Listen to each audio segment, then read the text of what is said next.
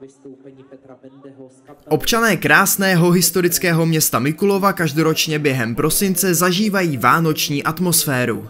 Vánoční Mikulov nabízí několik akcí. Jednou z nich je i punčem a svařákem provoněný jarmark s bohatým kulturním programem.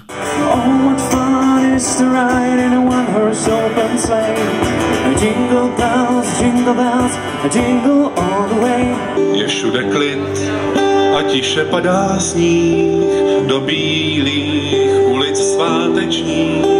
Teď tichá píseň nocí tiše krouží. Víceméně Vánoce pod radnicí jsou taková tradiční událost, která je jednou z mnoha, které pořádáme v prosinci. Víceméně ty akce začínáme rozsvěcením Vánočního stromu, eh, pak je klasický Mikuláš pro děti a právě ty Vánoce pod radnicí eh, jsou takovým vyvrcholením, to znamená, je tady řemeslný jarmark, jsou tady samé dobroty, je program pro děti, kde vystupují mateřské školky eh, tady z Mikulova a okolí. Kromě toho tady v Národním domě máme bleší trh. No a vyvrcholí to potom večerním vánočním koncertem. Tady na tom náměstí víceméně se představí představili mateřské školky eh, Habánská a Sluníčko.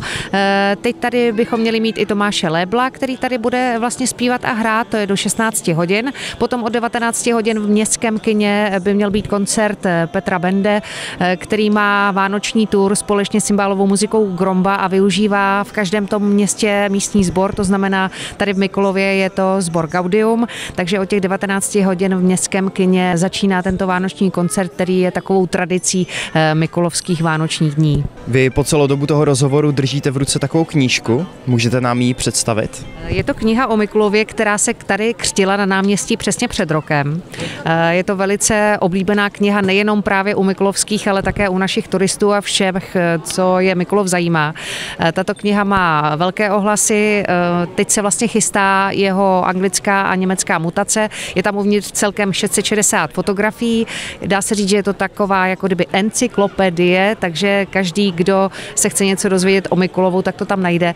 A hlavně je dobré, myslím si, blíží se Vánoce, tak skvělý vánoční dárek, kniha stojí 450 korun a v místním turistickém informačním centru si mohou zájemci tuto knihu zakoupit a myslím si, že udělají radost na Vánoce svým blízkým. Mikulov je velmi oblíbené město převážně u turistů. Vánoce pod radnicí jsou však zaměřeny hlavně na místní občany, kteří se setkají se svými sousedy a užijí si jedinečnou vánoční atmosféru. Rohlíčky,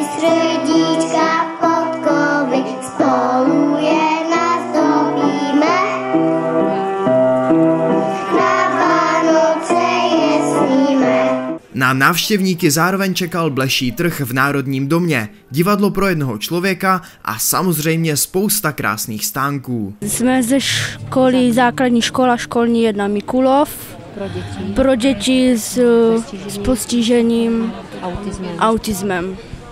Dobře, a vy tady prodáváte výrobky, které vyrábí uh, ty děti z té školy? Ano, Dobrý den, takže my prodáváme, nebo já prodávám síry, jsou to síry ze Slovenska, eh, převážně ovčí síry a určitě moc dobré síry. Co třeba říkáte na ten program tady na tom jarmarku? Určitě se mně líbí program s těma dětma, ten eh, určitě je moc pěkný a i přes ten nepřízeň počasí.